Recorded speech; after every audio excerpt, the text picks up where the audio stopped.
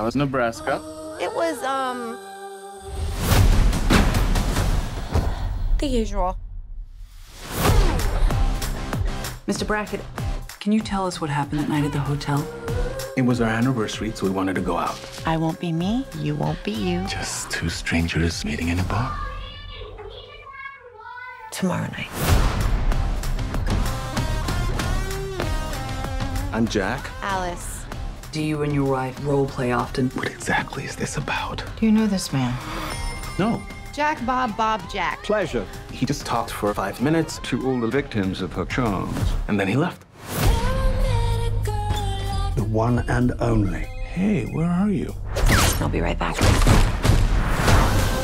The wife's real name is Anna Peller. Wanted for contract killings across several continents.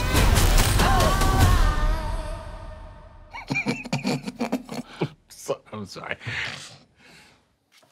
What? They told me what you are. My wife is an assassin? This is a lot. You kill people?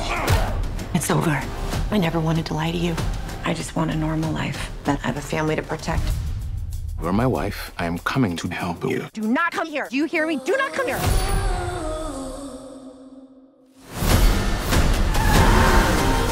I love you, and I love our family.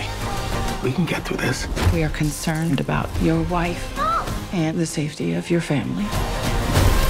She kills me, this one. I told you I need out. I'll bring the whole world down on your heads. I love you. I have to go to work now, though. Okay.